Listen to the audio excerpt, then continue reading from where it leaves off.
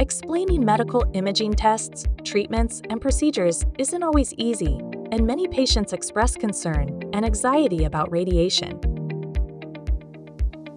Build a relationship with your patient by communicating radiation dose information in easy to understand and patient centric terminology. Some examples of this include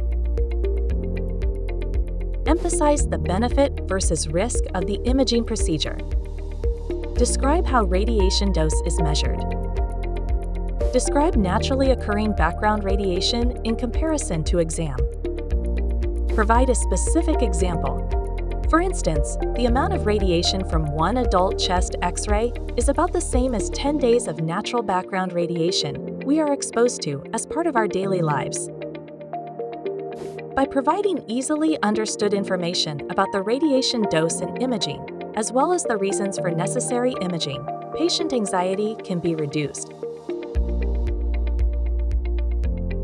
We have provided links to additional information and resources in the More Information section below.